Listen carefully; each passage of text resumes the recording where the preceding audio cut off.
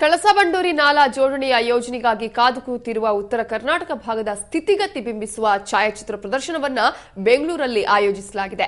ಚಿತ್ರಕಲಾ ಪರಿಷತ್ತಲ್ಲಿ ಆಯೋಜಿಸಿರುವ ಛಾಯಾಚಿತ್ರ ಪ್ರದರ್ಶನಕ್ಕೆ ಇಂದು ಹಿರಿಯ ಸಾಹಿತಿ, ಜ್ಞಾನಪೀಠ ಪ್ರಶಸ್ತಿ ಪುರಸ್ಕೃತ ಚಂದ್ರಶೇಖರ್ ಕಂಬಾರ ಭೇಟಿ ನೀಡಿ ವೀಕ್ಷಿಸಿದರು. ಈ ವೇಳೆ ಮಾತನಾಡಿದ ಕಂಬಾರರು ಕಳಸಬಂಡೂರಿ ಯೋಜನೆಯ ಜಾರಿಗೆ ಸರ್ಕಾರ ಇನ್ನೂ ಕಣ್ತೆರೆದಿಲ್ಲ.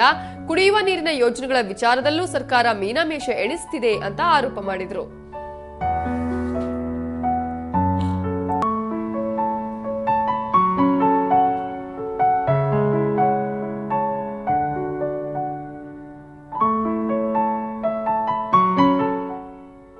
ಇದೇ ವೇಳೆ ತಮ್ಮೂರಿನಲ್ಲಿ ಸಂಪ್ರದಾಯದಂತೆ ಪ್ರತಿ ವರ್ಷದಂತೆ ನಡೆಯುವ ಪಂಚಮಿ ಹಬ್ಬದಂದು ಊರಿನ ಪೂಜಾರಿ ಕೊನೆಯುಸಿರೆಳೆದ ಅನ್ನುವ ವಿಚಾರವನ್ನ ನೆನಪಿಸಿಕೊಂಡು ಕಣ್ಣೀರಿಟ್ರು.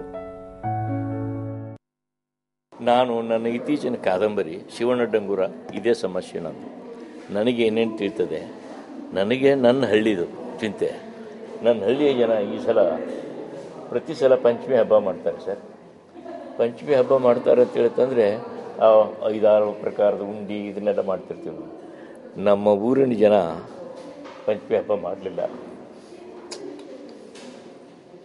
ಯಾಕಂತಂದರೆ ನಮ್ಮ ನಮ್ಮ ಒಬ್ಬ ಪೂಜಾರಿ ಮಳೆ ತರಲಿಕ್ಕೆ ಇದಕ್ಕೆ ಹೋಗ್ತಾನೆ. ಇಲ್ಲಿ ಗುಡ್ಡಕ್ಕೆ ಹೋಗ್ತಾನೆ. ಅಂದರೆ ಕೂರ್ತಾನೆ ಅಲ್ಲಿ. ಮಳೆ ಬಂದೇ ಬರಬೇಕು. ಮಳೆ ಬಂದ ಮೇಲೆ ಅವನು ಬರೋದು. ಅವನು ಆ ದಿವಸ ಬರಲಿಲ್ಲ. ಮಳೆ ಬರಲಿಲ್ಲ. ಪಂಚಮಿ ಮಳೆ ನಾವು ಮಾಡಲಿಲ್ಲ.